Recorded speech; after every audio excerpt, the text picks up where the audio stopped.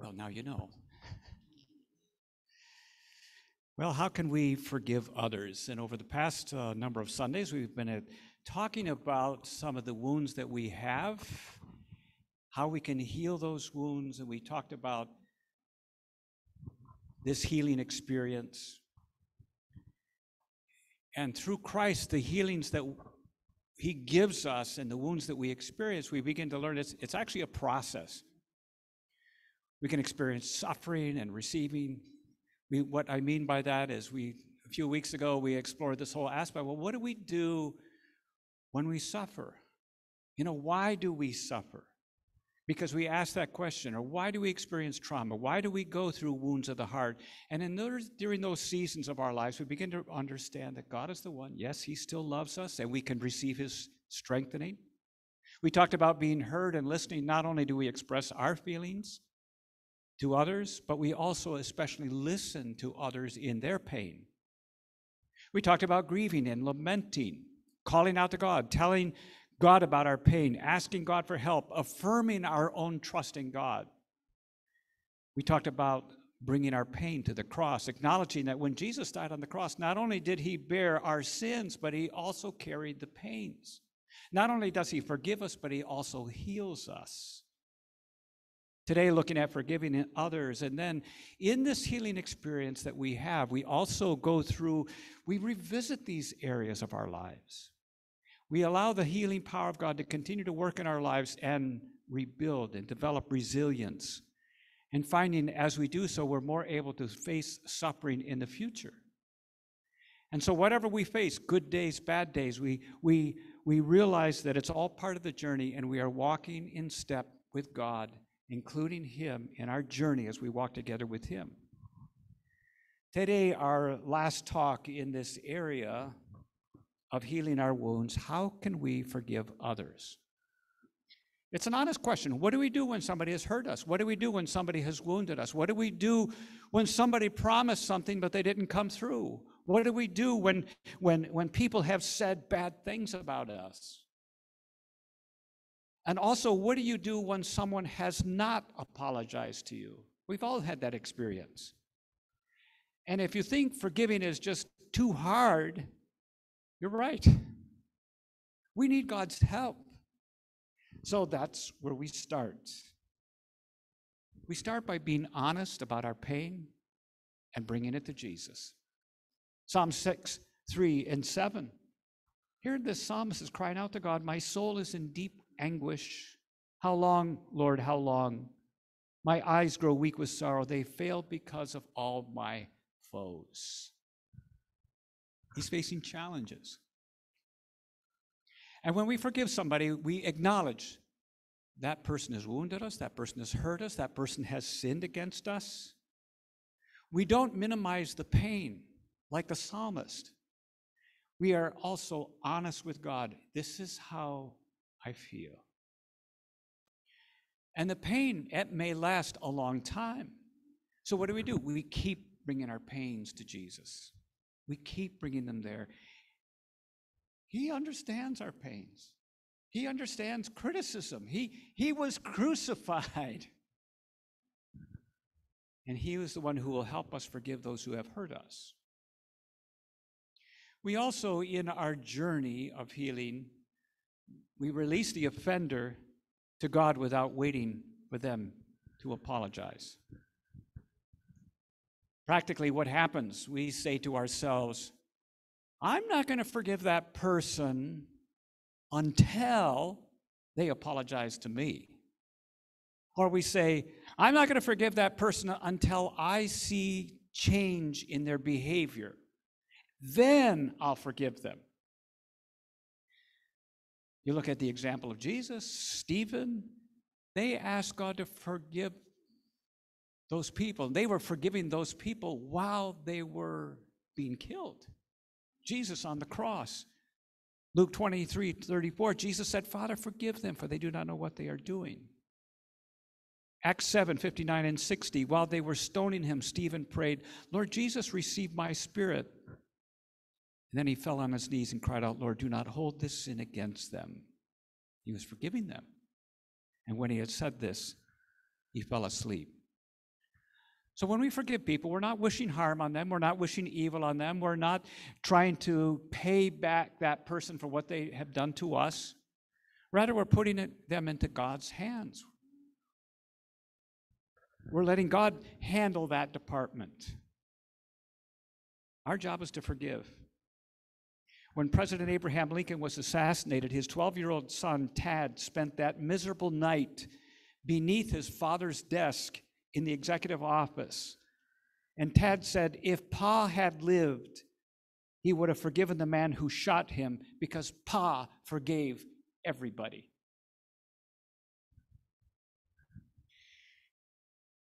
And here's one aspect about forgiveness that I'm learning allow time for the forgiveness process. I don't think I've really understood this as much before.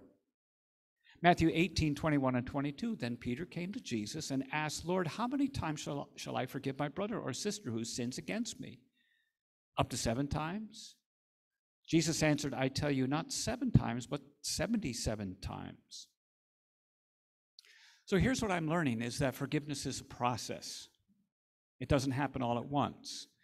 We decide to forgive and then suddenly remember what has how we were offended, how we were wounded, we begin to feel those angry thoughts, bitterness, resentment. We take that pain to Jesus again. We reaffirm our commitment to forgive. The Christian Trauma Institute uh, provides these illustrations. I found them very helpful. The first uh, forgiveness cycle that you see there illustrates the cage of the offense and freedom. At first, we don't really feel like forgiving somebody, but that doesn't matter. We commit ourselves to forgive that person before we feel feelings of forgiveness. And like the bird in the diagram, we may circle back many times in our hearts toward that cage of the offense. But as we forgive in our hearts over and over, again and again, eventually we feel that our pain begins to lessen when we remember that event. And just like the bird flies higher and further from the cage toward freedom, we increasingly move ourselves toward freedom each time we renew our commitment to forgive. The second cycle of forgiveness diagram there shows that the, uh, the fence, the offense and our freedom is, is, is miles apart. So we forgive at the one mile mark. Then we forgive at the two mile mark, and then the three, four, five mile mark, even the 490th mile mark, 70 times seven. We forgive 77 times or 70 times seven. Let's say thieves broke into a woman's house, took money, took her phone, damaged a lot of things. For a season, she spent time in the neighborhood of denial and anger. But then she prayed, Lord, I know that I'm supposed to forgive these thieves. Please help me, God. And what happens? She takes five steps forward. But then she has to stand in line for two hours getting a replacement phone, and she begins to feel anger toward the thieves again. She takes three steps back. And then she prays again, God, I know you want me to forgive these thieves. Please help me. She takes five steps forward. Then her child needs money for school supplies, and she realizes she doesn't have it. She feels more anger again toward the thieves. She takes three steps back, but then she says, God, help me. And she takes five steps forward. Time comes, Christmas is approaching. She needs money for gifts and special foods. She feels the anger again, three steps back, prays again, takes five steps forward. Finally, on the anniversary of the robbery, she's able to pray to God without feeling any of those feelings of anger anymore. She has worked her way consistently through the forgiveness cycle. 77 times, 70 times 7. Lloyd LeBlanc the, was the father of David LeBlanc, 17 year old, who was murdered by Patrick and Eddie Sonnier. And when the neighbor started harassing Mrs. Sonnier for her son's actions, it was actually Lloyd LeBlanc that came to her came to her house and brought her a basket of fruit. He said he was a parent too, he said to her, he understood that she wasn't responsible for his son's murder. You wonder how can a parent do that? Lloyd unpacks his story. He tells how the sheriff brought him to the morgue to identify his son's body. David said, Here is this beautiful kid, 17 years old. He had been shot in the back of the head, sadly. And the sheriff pulled out his body out onto that cold tray. And Lord and Lloyd realized here's a man. He knew that he was good with his hands. He was used to fixing things. But he looked down at his son and he said, I can't fix that. And he began to pray the Lord's Prayer. And as he began to pray the Lord's Prayer, he came to that line about forgiving those who sin against us. And he admitted in his heart, he says, Lord, I don't feel that. But he knew in his heart that's where he needed to go, and that's where he ultimately did go. Forgiveness says, God, I'm not going to let this anger, I'm not going to let this resentment, I'm not going to let this hatred kill me. With your help, Lord Jesus, I ask you will help me to remain kind and loving and forgiving. And forgiveness is this journey. It's it's it's this cycle that we go through. The cycle of forgiveness. It's not just a single act. We reaffirm our commitment to forgive and to keep on forgiving.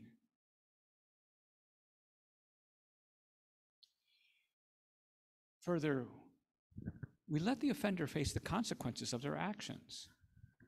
Here's the scriptures from Numbers 5 5 to 7.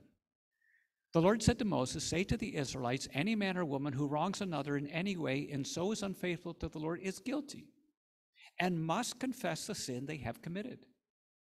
They must make full restitution for the wrong they have done, add a fifth of the value to it, and give it to give it all to the person they have wronged. You see, just because we have forgiven someone doesn't mean that they should not be punished for what they have done. Justice must still be done.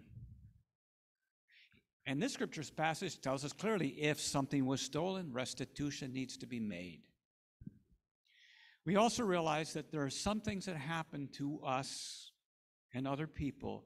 Some things are taken away that can never be repaid. But justice can still be done. Justice can prevent somebody else from experiencing hurt in the future that maybe we've experienced. And justice can actually give that other person an opportunity to repent, move them to repentance. The job of punishing criminals, God gave that job to the government. I know we see a lot of movies and they have somebody takes justice into their own hands and they're out there to get revenge and it makes a good storyline for the movie, but that's not what God has designed. God gave that role to the government. We don't want to take that into our hands. And further, we determine in forgiving others, we determine if and when you and I are able to trust the offender again. I've forgiven people sometimes. I've been wounded, but that doesn't necessarily mean I trust them. Because trust is earned, trust is re earned. Interesting story in the Old Testament about Joseph. And I was just telling Donna this morning that as I began to think about this story, I finally understood one piece that I never understood. Here is Joseph, this favorite son of Jacob. His brothers sold him to, to some Egyptians as a slave. But now he the story unfolds in the book of Genesis. He's in he's in Egypt, and eventually he finds himself in the second place of command in the kingdom. A famine occurs, and there is Joseph's brothers. They come all the way to Egypt. They show up because they need food.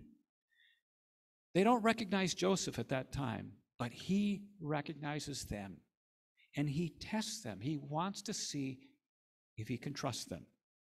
Genesis 42, 18 to 20 is part of that story. On the third day, Joseph said to them, Do this and you will live, for I fear God. If you are honest men, let one of your brothers stay here in prison, while the rest of you go and take grain back to your starving households. But you must bring your youngest brother to me, so that your words may be verified, and that you may not die. This they proceeded to do. Well, the story continues. They go back. This, they realize, okay, their money is now returned to them. But the famine continues. They have to go back to Egypt to get another food supply. And Joseph tests them again. And he finally reveals himself. Joseph, we understand, he had already forgiven his brothers. He says it. He had already forgiven them. But he wanted to see if he could trust them. He wanted to see if they had changed. He didn't wait and then forgive them, he had already forgiven them. And when trust has been broken, it takes time for it to be rebuilt.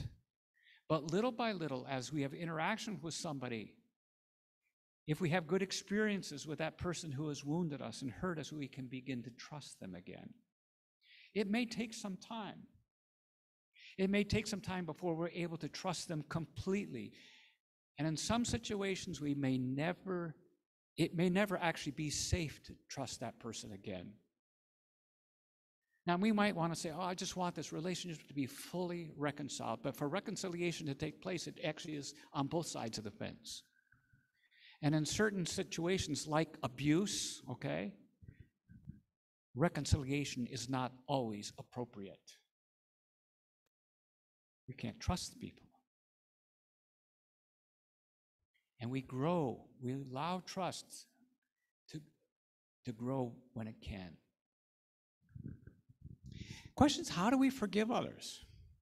Beth Moore and her husband Keith, they were spending time in Angola, who has gone through a lot of war situations. And at that time in their ministry, they were trying to draw attention to tens of thousands of malnourished people.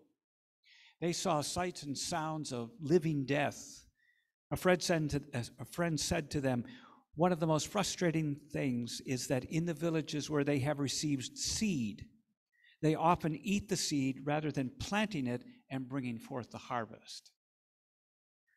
Beth thought about that. She couldn't get that statement out of her mind. And suddenly she had an answer to a question that she had most asked, often asked God Why do some people see the results of the word and others don't see the results of God's word? And she says, Why have many of us read books on forgiving people? Known the teachings that were true and right, cried over them, marked them up with highlighters, yet remained in our bitterness. She said it's because we ate the seed instead of sowing it. In other words, we know in our heads, oh, yeah, I'm supposed to forgive. We know what to do but do we practice it? Do we live it out? Do we eat the seed instead of sowing it? Another important question why should we forgive people? Well, if we don't forgive, we're going to find ourselves in bondage. It's like if you don't forgive someone, that person is tied to you with a rope and you're dragging that person around with you wherever you go. And it can be exhausting, it can be frustrating. You take a walk, that person is there. You eat supper, that person is there. You try to work, you try to pray, you try to run away, and that person is there in your mind. And everywhere you go, that person is there because that person is tied to you with a rope. You and I have had conversations with people. And all of a sudden, in this conversation, they bring up a situation where they were wounded years ago. And you wonder, why is that situation so fresh in their minds, like it happened yesterday? The reason is because that person they have not forgiven is tied to them with a rope. They're still dragging that person around.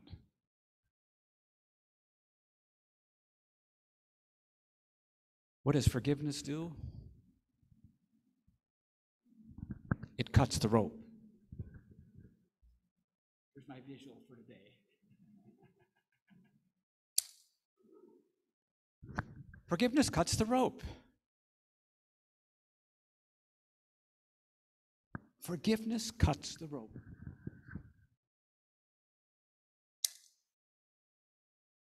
Got it?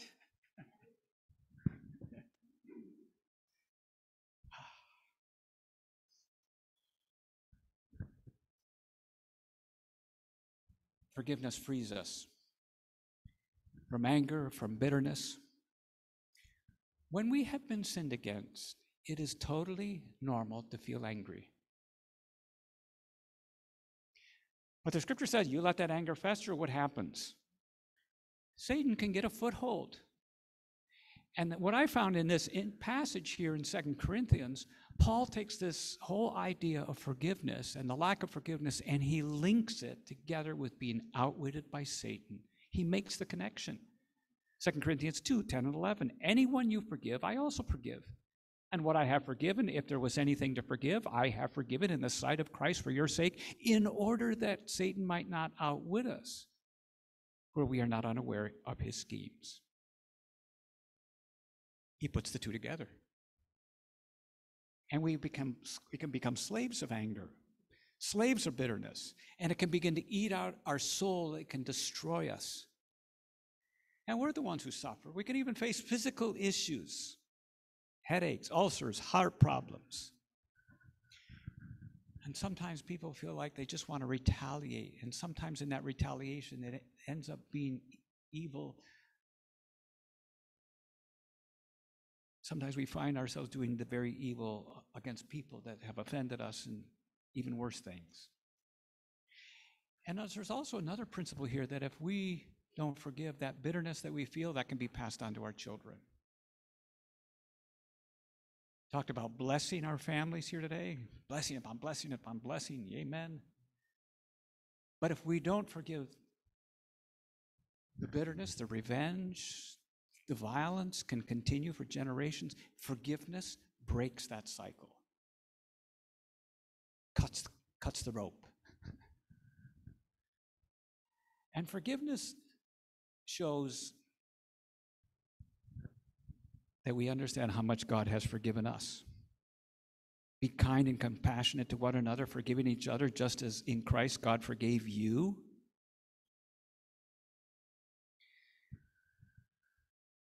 Wayne Cordeiro, he imagines this very humorous conversation to illustrate how much God has forgiven us. He imagines himself in a friend of his, Nancy Beach, in her driveway. And Nancy comes out and says, Wayne, that's my favorite cat that you ran over. Wayne says, Oh, Nancy, I'm sorry. I just won the lottery and I was so excited. She says, I don't care what you won. You just ran over my cat. And Wayne says, I, I know I can't bring it back to life. I'm sorry. Would you forgive me? And she says, No, I can't forgive you. You can't bring my cat back to life. I can't forgive you. You are just a mean, cruel person. Oh, Nancy, I'm so sorry. I know I can't bring this cat back, but you know, I just won the lottery. So here's a check. And I know I can't bring your cat back, but would $50,000 help you forgive me? Here. And she looks at the check and she says, Whoa, I, I forgive you, brother. Hallelujah. You are absolutely forgiven. God bless you. and Wayne says, You know, Nancy, while we're on the subject, you, you have trouble forgiving people?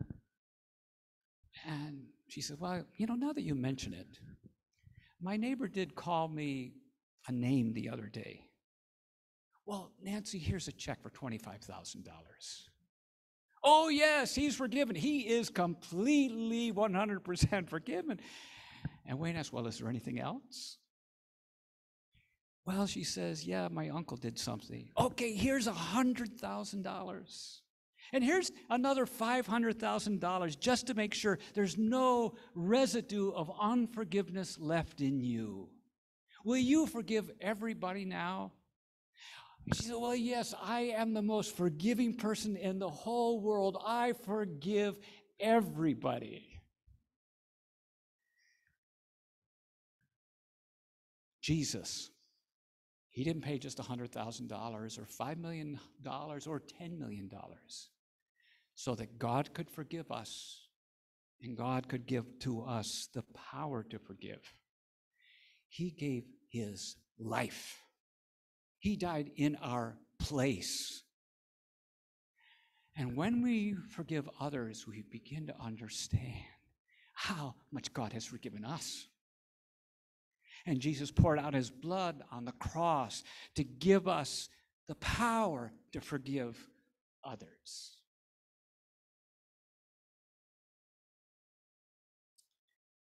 Another question.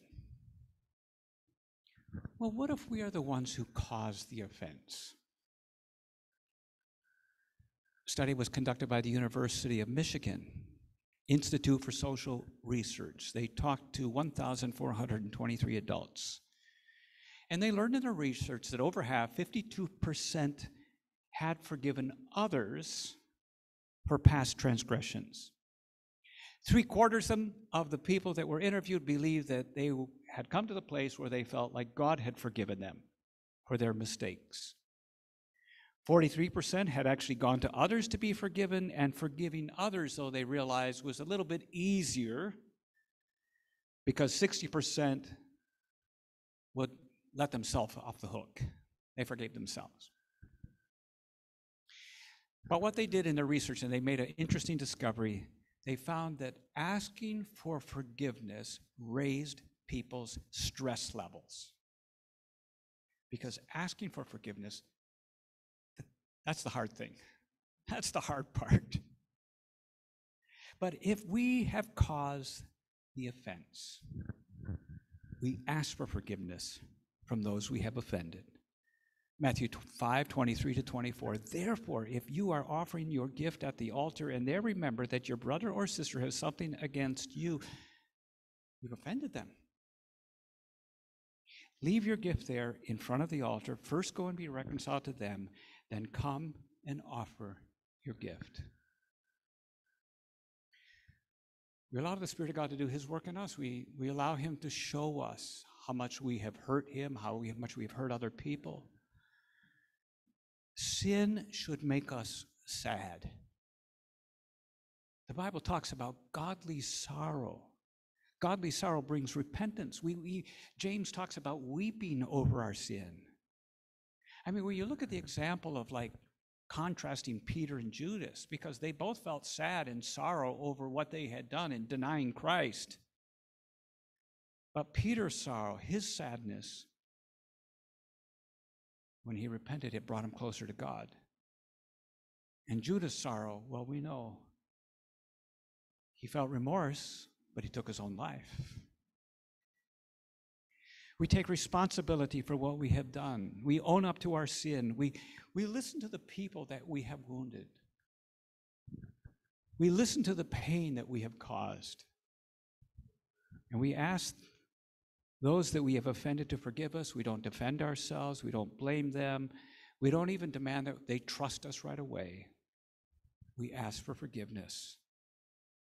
And then we also realize as God forgives us as well, we forgive ourselves. Because we struggle in this area too, don't we? We feel like, oh, I still feel guilt. I feel, still feel shame. I still feel regret. I've repented, but I still feel like I'm not sure if I'm forgiven. It's helpful to remember scriptures like one, Psalm 103, verse 12, which says, For as far as the east is from the west, so far it has removed our transgressions from us.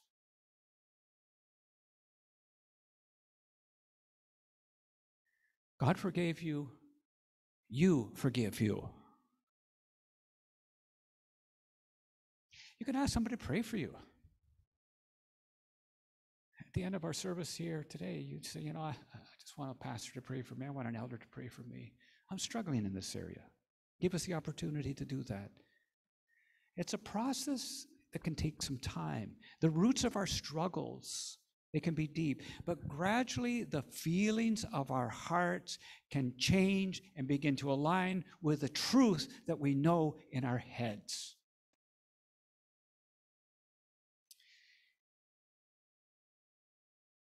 Only one petition in the Lord's Prayer has any condition attached to it. Forgive us our sins, for we also forgive everyone who sins against us. Luke 11 4.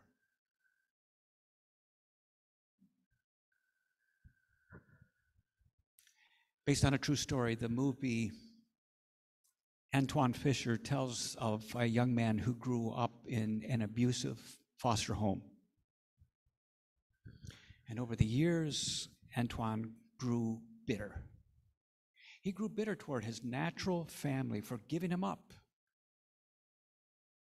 And by the time he had enlisted in the Navy, his, angry, his anger had got him into so many fistfights that eventually he was sent to the psychologist in the Navy, Jerome Davenport, played by Denzel Washington. Davenport becomes like this father figure to Antwone. And they build this trust relationship together. And a scene unfolds, they're celebrating a Thanksgiving meal together. And after the meal, Antwone shares a very powerful poem with Davenport. Davenport is wor- helping him to try to see, trying to raise this issue, helping Antwone try to find healing. Antwone Holt takes, uh, has a folded piece of paper and gives it to, to Davenport, and Davenport reads it aloud very thoughtfully. Who will cry for the little boy lost and all alone? Who will cry for the little boy abandoned without his own? Who will cry for the little boy? He cried himself to sleep. Who will cry for the little boy who never had for keeps?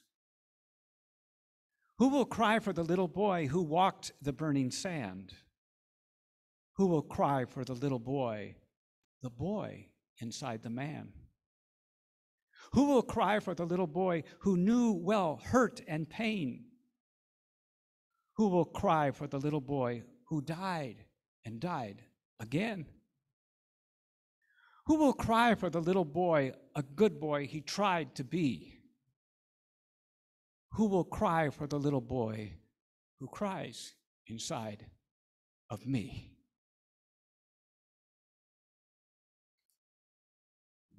Davenport says, This is excellent, Antwone. He says, You're good at being honest. You're more honest than most people. Even in your anger, the only thing that you're not honest with yourself about is that you need to find your own family, your natural family. Davenport says you're, you're upset with them because you, you feel like they didn't come to your rescue. Maybe they didn't know. And Antwone lashes out, Well, how could they have not known? Davenport says that's the question you need to ask. Regard without ill will despite an offense. He said, regard ill will without regard without ill will despite an offense. Davenport says that's the Webster's definition of forgiveness. antwone says, Why do I have to forgive? Davenport says, To free yourself so that you can get on with your life. And we can simply add to that God calls us to forgive because He has forgiven us. And Jesus is the one who sets us free. Only one petition in the Lord's Prayer has any condition attached to it. Forgive us our sins, for we also forgive everyone who sins against us. Let's pray together. Father, our hearts are broken, convicted.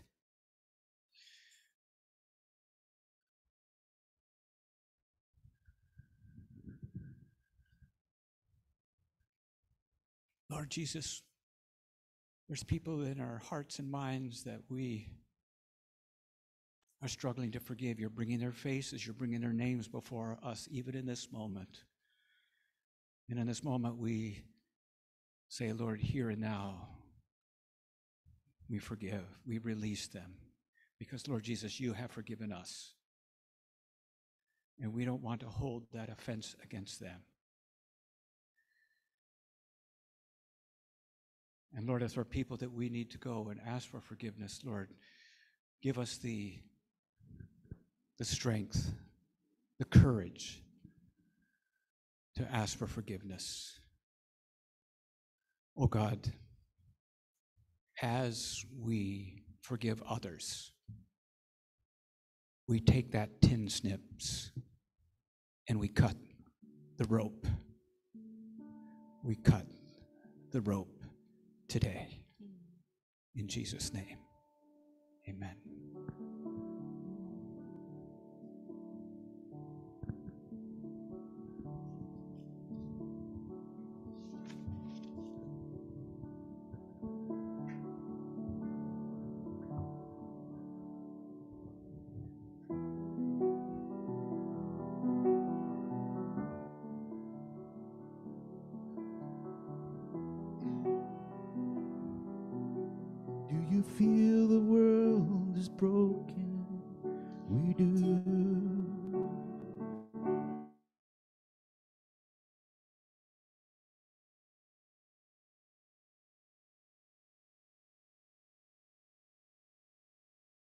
The dark won't stop the light from getting through. We do.